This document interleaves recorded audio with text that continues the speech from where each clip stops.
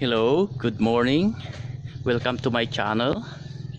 And today I would like to show you my strap vanda that is blooming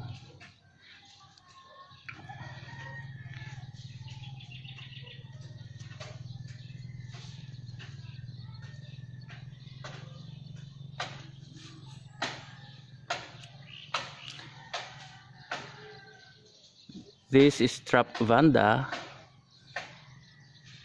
came from Thailand.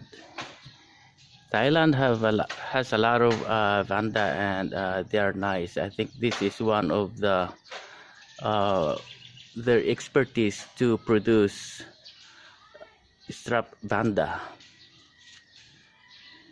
And here is the ID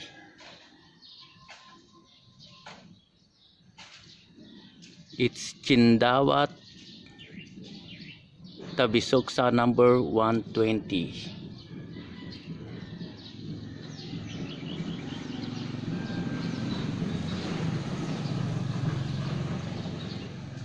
I just hang it on my uh, on my pine tree and just wait and it will just bloom naturally.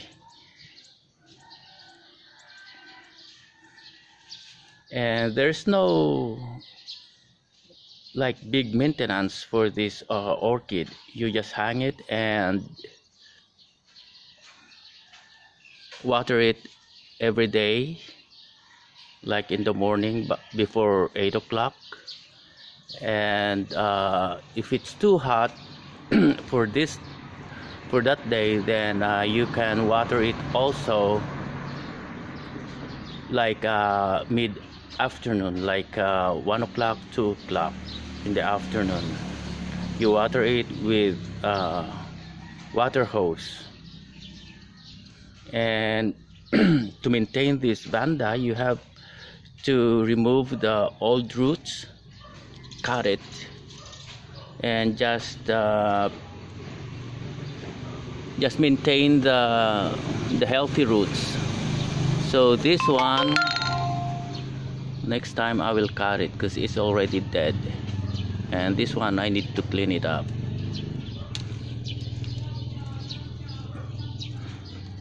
And also to maintain its good posture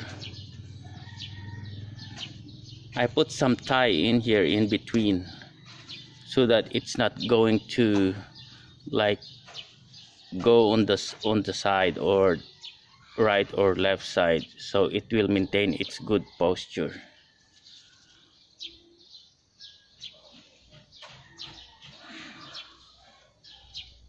See isn't it lovely?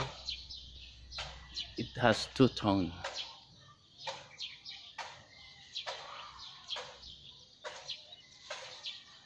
And here are my other orchids in our garden